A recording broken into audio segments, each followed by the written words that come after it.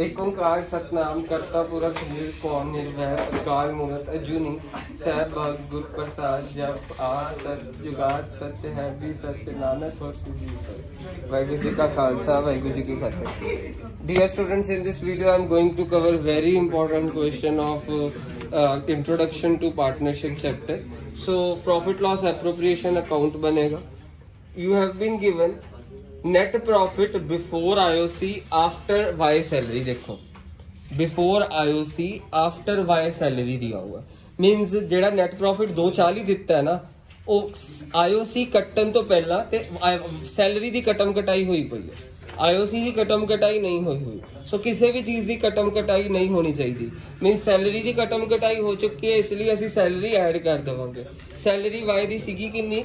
60000 so 60000 ਵਾਲੀ ਸੀ Y ਦੀ ਸੈਲਰੀ ਐਡ ਕਰ ਦਿੱਤੀ, ਕਿਉਂਕਿ ਇੱਥੇ ਜਿਹੜਾ ਪ੍ਰੋਫਿਟ ਹੋਣਾ ਚਾਹੀਦਾ, ਬਿਨਾ ਕਟਮ ਕਟਾਈ ਦੇ ਹੋਣਾ ਚਾਹੀਦਾ। ਬਿਫੋਰ IOC ਸੀਗਾ, ਮਤਲਬ ਕੋਈ ਪੰਗਾ ਨਹੀਂ ਸੀ IOC ਆਪਾਂ ਕੱਟਿਆ ਨਹੀਂ ਹੋਇਆ ਸੀਗਾ, ਪਰ ਆਫਟਰ Y ਸੈਲਰੀ ਸੀ ਮੀਨਸ Y ਦੀ ਸੈਲਰੀ ਦੀ ਕਟਮ ਕਟਾਈ ਹੋਈ ਹੋਈ ਹੈ। ਇਸ ਲਈ ਅਸੀਂ ਸੈਲਰੀ ਐਡ ਕਰ ਦਿੱਤੀ। ਇੰਟਰਸਟ ਔਨ ਕੈਪੀਟਲ ਕੁਐਸਚਨ 5% ਕੇ 5% x ਦੀ ਕੈਪੀਟਲ ਕਿੰਨੀ ਹੈ? 8 ਲੱਖ। 5% ਆਫ y ਦੀ ਕੈਪੀਟਲ ਕਿੰਨੀ ਹੈ? 6 ਲੱਖ। ਮੇਰੇ ਕੋਲ 40000 30000 ਆ ਗਿਆ। ਫਿਰ ਇੱਥੇ ਤੁਹਾਨੂੰ ਪਤਾ ਪੀਐਨਐਲ ਐਪਰੋਪਰੀਏਸ਼ਨ ਸੈਲਰੀ ਲਿਖ ਦੀ ਹੈ। 60000 ਫਿਰ ਕਮਿਸ਼ਨ ਜਨਰਲ ਰਿਜ਼ਰਵ ਇਹ ਸਭ ਲਿਖ ਦਿੱਤਾ ਹੈ ਹੀ ਨਹੀਂ ਤਾਂ ਤਾਂ ਵੀ ਖਾਲੀ ਛੱਡ ਦਿੱਤਾ। ਮੈਨੇਜਰ ਦੀ ਕਮਿਸ਼ਨ ਉਹਨਾਂ ਨੇ ਕਿਹਾ। ਕੁਐਸਚਨ 'ਚ ਲਿਖਿਆ ਹੋਇਆ 5% of profit net profit so 5% of net profit ਕਿੰਨਾ? ਦੇਖੋ ਕੁਐਸਚਨ 'ਚ 3 ਲੱਖ ਤੇ ਆਪਾਂ ਕੱਢਿਆ ਸੀਗਾ ਜਿਹੜਾ।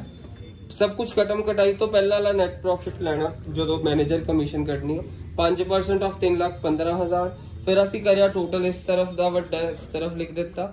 ਐਂਡ ਉੱਥੇ ਵੀ ਉਹੀ ਲਿਖਿਆ 3 ਲੱਖ ਦੇ ਵਿੱਚੋਂ ਸਾਰਾ ਕੁਝ ਮਾਈਨਸ ਕਰਕੇ ਸਾਡੇ ਕੋਲ ਡਿਵੀਜ਼ੀਬਲ ਪ੍ਰੋਫਿਟ ਆਇਆ 155000 ਉਹਨੂੰ x ਤੇ y ਦੇ ਵਿੱਚ ਵੰਡ ਦਿੱਤਾ 3:2 ਦੇ ਵਿੱਚ।